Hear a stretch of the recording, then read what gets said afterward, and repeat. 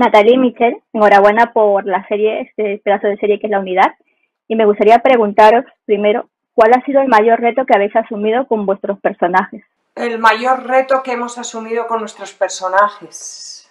Bueno, eh, mm, siempre que te acercas a una a personajes que existen en la realidad, que tienen una labor tan complicada, tan eh, trabajan en algo que tiene que ver con una parte de nuestra sociedad que no nos gusta mirar demasiado para poder sobrevivir, ¿no? Eh, el peso de la responsabilidad haciendo esta serie era mayor que en otras ocasiones. normalmente los personajes que hacemos no siempre existen, no retratan una realidad tan, tan, compleja y tan oscura. Y, y bueno, pues eso te hace eh, conectar con la verdad de una manera más honda. Eh, afortunadamente, hablo por, mi experiencia, eh, yo que entré de una manera, bueno, casi entré al final, para, casi para rodar, justo antes de que empezaran a rodar, pero enseguida vi que estaba en muy buenas manos, el guion es extraordinario, el director lo tenía tan claro, eh, estaba tan obsesionado con esto. Yo la primera vez que conocí a Daniel La Torre, tengo que decir, me fui a Melilla a hablar con él y no hablaba de nada que no fuera eh, el terrorismo, pero desde un lugar se estaba totalmente obsesionado. Y para mí no hay nada mejor para hacer este oficio que obsesionarte con, con el creador, para el cual eres su instrumento, y a partir de ahí el viaje va solo, ¿no? Entonces, difícil, difícil, no, ha sido un reto hermosísimo y muy excitante. No, es que eh, sería repetir las mismas palabras que dijo Nati. Me parece que hay un compromiso mayor con la verdad en, este caso en particular, porque estamos basándonos en relatos reales. Todo lo que ocurre en la serie está basado en relatos reales de la policía real, de la unidad real. Hemos tenido la posibilidad de conocer a nuestros a nuestras personas, porque ya no serían nuestros personajes, ¿no? digamos a las personas en las que se basan nuestros personajes. Entonces hay un compromiso y un deseo de que, de que salga lo mejor posible, pero que sobre todo sea verdadero. Y, y ese fue el compromiso y esa fue, eh, más que dificultad, el, el desafío. ¿Y qué diríais que es lo mejor y peor de vuestro personaje? Bueno, lo mejor y lo peor.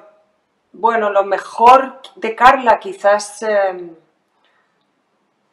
eh, bueno, varias cosas. Tiene cosas muy buenas. Es una mujer Em, absolutamente entregada a su oficio de una manera muy honda y, muy emocional también, para lo bueno y para lo malo. Em, creo que es una mujer que sacrifica mucho de su vida ahora que tengo delante al hombre que ama, aunque tengan sus dificultades o que ha compartido su vida, creo que eh, hace muchos sacrificios pensando que quizás sea lo mejor para el otro.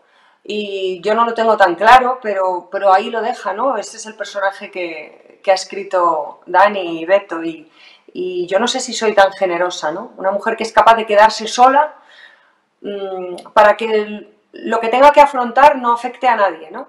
Eh, normalmente siempre que, nos pasa algo grave tiramos mucho de los demás, ¿no? Necesitamos ayuda, necesitamos que nos cuiden, que nos protejan. Y Carla tiene algo tremendo, ¿no? De no querer molestar a nadie y de, coger el toro ella por los cuernos, que es lo, yo creo que es tanto lo bueno como lo malo que tiene el personaje, ¿no? Se pone en peligro constantemente eh, y es muy solitario eso. Pero por otro lado la hace tremendamente poderosa y generosa también y, atraviesa las situaciones de una manera muy única, única. Por eso está en el puesto en el que está, ¿no? Creo que además alguien que es capaz de preocuparse por la vida de los demás de una manera tan... Bueno, son la gente que cambia el mundo y la que lo mejora, creo. En el caso de Marcos, creo que, que lo peor que tiene eh, pero que es a su vez algo muy necesario para él, el rol que ocupa y todo, es eh, la, obsesión que tiene por el control. Creo que es un gran obsesionado por el control, tiene, tiene que controlar las situaciones, las situaciones tienen que salir de un modo y cuando algo se sale de ese control, como es el caso de, de la relación con Carla, es algo que prácticamente no puede entenderlo dentro de su realidad es como obsesivamente intenta volver cosas a, que todas las piezas encajen en ese puzzle que él tiene armado en su cabeza. Entonces, quizás eso sea eh, su peor parte, pero al mismo tiempo es la parte que lo llevó al lugar que ocupa y, es lo que tiene que hacer para poder cuidar de toda la gente que está a su cargo y en última instancia de todos los civiles que ni siquiera saben que están a su cargo. Eh, por otro lado, lo que yo encuentro en Marcos, quizás lo mejor que tiene, es eh, lo verdadero que es. Creo que es una persona muy, muy franca. No, no me parece que sea un personaje con dobleces o con dobles intenciones. Creo que es una persona que se muestra realmente tal cual es, salvo en, en, el colegio de la hija y eso que no puede contar su profesión. Pero más allá de eso, que es una cuestión netamente funcional, creo que es una persona muy sincera y, muy verdadera y muy amorosa. ¿Y qué le diríais a, los espectadores para que no se pierdan la unidad? ¿Por qué deberían ver la unidad? Porque no hay otra ficción como esta. No, no, no se ha hecho todavía en este país. De verdad lo digo porque la he visto. Y yo no suelo ver trabajos en los que yo estoy de una manera tan objetiva. Eh, a mí me llevó, me, me, me arrastró es una ficción eh, entretenida. Aparte de que a mí me fascinan los thrillers y creo que esto es, un thriller pero con mucha verdad. Es un thriller que nos acerca a ahora que estamos viviendo la situación que estamos viviendo, eh, donde conocemos cómo trabajan los sanitarios, las fuerzas de seguridad del Estado, los trabajadores sociales, eh, todo lo que constituye nuestra sociedad, estos oficios que están en la sombra. En esta serie se da voz a mucha gente que no la tiene que creo que es lo más bonito de mi trabajo, por eso quizás eh, me guste tanto, ¿no? No solamente a la unidad policial, que además está basado, como ha dicho Michelle, en hechos reales y todo lo que vamos a ver está ocurriendo o ha ocurrido, eh, sino eh, pues todos los protagonistas de la parte árabe de la, serie, ¿no? los protagonistas, los que, los que representan toda la parte que nosotros perseguimos, todos los familiares que los rodean, eh, los que los sufren esa situación también. Y yo creo que, como dice Michelle, nos permite muchas lecturas sobre este mundo globalizado en el que vivimos, ¿no? Bucear en el lado oscuro de la sociedad, en este caso el, todo este tema del terrorismo, es muy difícil de hacer. Normalmente no lo hacemos en la vida, ya se ocupan estas unidades policiales y de, que no nos enteremos. ¿no? no es, es, un, es, una unidad que trabaja en la sombra precisamente para que nosotros podamos vivir nuestro día a día sin miedo. Y me parece muy interesante, aparte de que visualmente nos va a hacer viajar, porque todas las, locaciones son, las localizaciones son reales.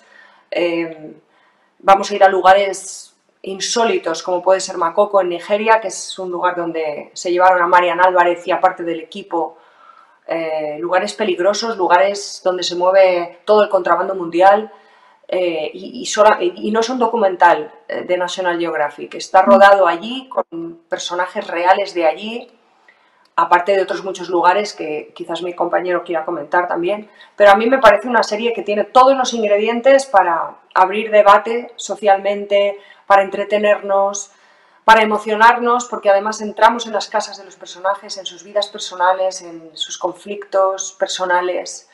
Eh, es que lo tiene todo, lo tiene todo.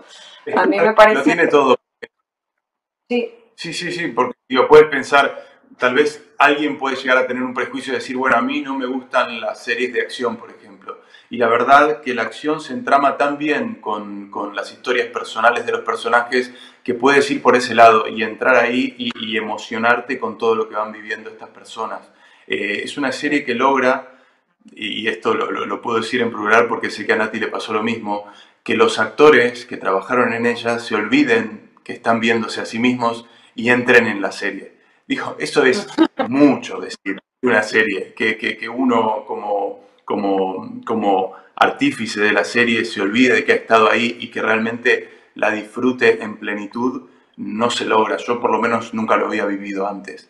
Es una serie que capítulo a capítulo, para mí la, sensación más clara es como, ¿sabes cuando estás en un edificio muy alto y sales al balcón? Bueno, capítulo a capítulo vas dando un paso más cerca de ese abismo. hay una mm. cuestión de nerviosismo que va creciendo y a partir del segundo o tercer capítulo ya no puedes parar de verla. Así que eh, vale, vale mucho la pena y además es un producto de una calidad pocas veces vista. Estamos aquí para salvar vidas.